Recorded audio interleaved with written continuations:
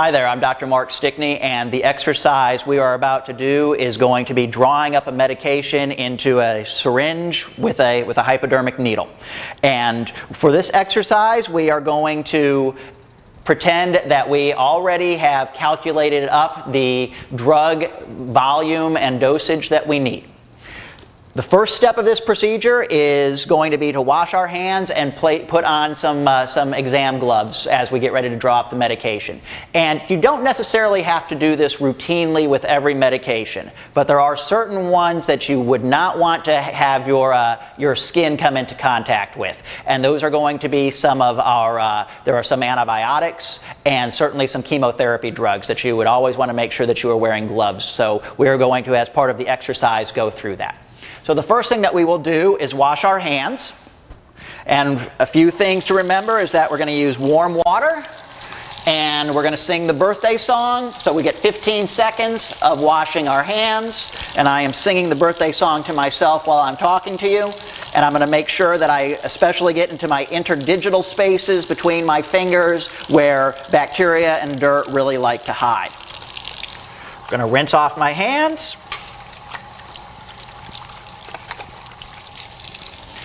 We'll get a paper towel.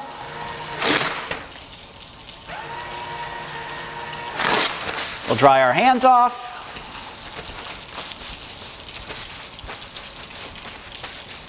And then we'll use that paper towel to turn off the water.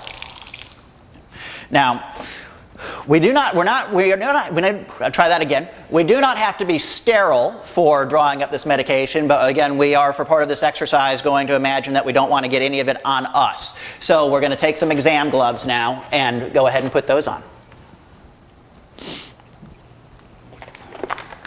And now it is now it is key that we do have dry hands because it can be very hard to put these gloves on when your hands are still a little bit wet. So dry hands are key.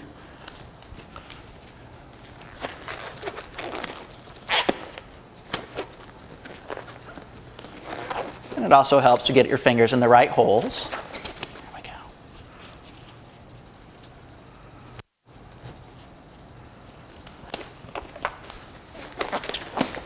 go. All right. Now, the judge will have told you what, uh, what medication type and the amount that you are going to draw up. So we will, we will imagine that this, is our, that this is our drug right here. For this demonstration, this is a bottle of sterile water, but um, we will imagine that this is some type of a medication. And the first thing that we are going to do is double check the label. We're going to make sure that it is indeed the medication that we're supposed to draw up and the correct concentration. Lots of drugs will come in bottles that look exactly the same, but one bottle will have the medication be 10 milligrams per milliliter.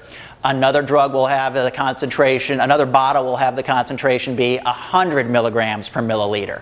And if you draw up the wrong one, you've just given that animal a 10 times overdose of whatever the medication was. And that, that can have uh, deadly consequences. So we're going to double check that label. We're going to double check the concentration.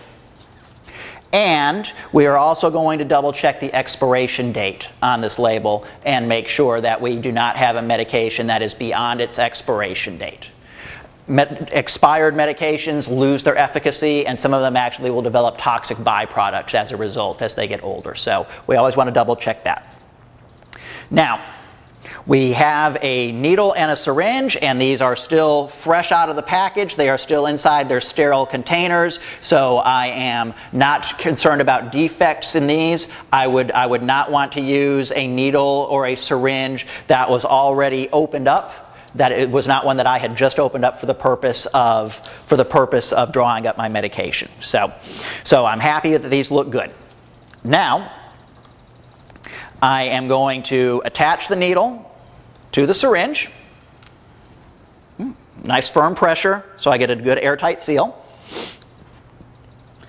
And now I'm going to take my medication this particular bottle still has a, a, uh, sterile top on it. Yours may not. That just pops right off. And then there's a rubber seal that will allow us to, to draw up the medication.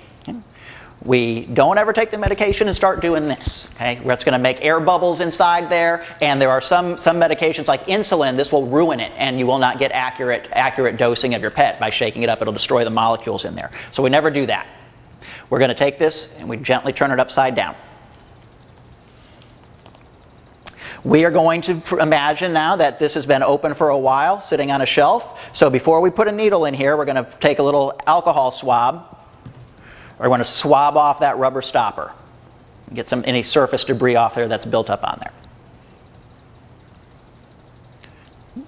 We're going to take our syringe and we're going to go ahead and break the rubber seal. So the, when these first come out of the package, the rubber, the, because of the sterilization process, the rubber sticks to the plastic. So the first thing that we're going to do is break that seal, and we're going to pretend for this exercise that we need to draw up one milliliter of drug. So we'll draw that up to the one milliliter mark.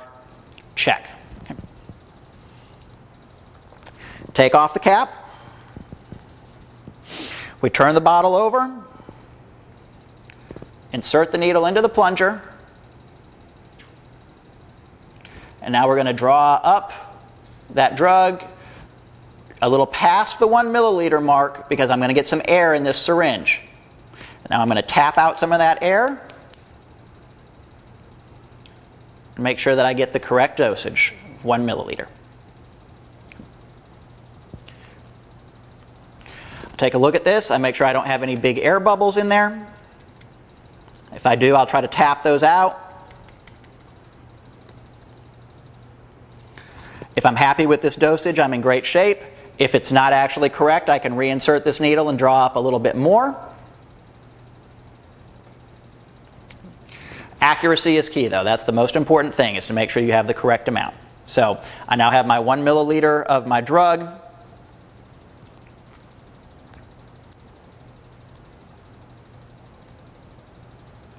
And we are now ready to give this we are now ready to give this injection to our pet. Good. We want to talk for a few minutes about needle safety. In human medicine, being stuck with a needle is a big deal and it happens frequently. And they, they, they, take lots of safeguards to make sure that that, that that never happens because clearly diseases can spread from one human to another. With our veterinary patients, not only do they also have diseases that could spread from, uh, from them to us, but we also risk the chance of just getting an infection in general by sticking ourselves with a hypodermic needle. And there are also some medications that we would not want to have injected into our own bodies that are safe for dogs. They're not safe for us. So, a capped needle, that's good. Okay? You, can, you, can, you can be less concerned about that. But once that, uh, once that cap is off, now I've got, I've got a needle and its only job is to go through skin and into things. So I always need to be aware of where that needle is all the time. Okay? Also, this needle is supposed to be sterile. So it should not be set on a table and allowed to roll around, be in contact with other things so that it gets contaminated. Okay? This needle, the cap is off of this needle strictly so that I can inject my medication. And as I do that, I'm not distracted and talking to everyone else or talking to you as I do it, okay? I'm going to pay attention to where that plunger is as I, as I place that needle. And I'm using nice steady hands and my mind is on, on what I'm doing while I, while I draw up that drug. Technically, you should not recap the needle once you have once you have uh, drawn up your drug. It should immediately go from being drawn up to being given as your injection. Um, the reality is that you will see a lot of people do that, and you need to be aware that once this cap has been removed off the needle the first time, it is never on there as securely as it once was. So don't be doing that, walking around with it in your pocket all day long, because sure enough, you're going to get busy, start doing things, bending over, and this cap slips off that needle. This is in my pocket.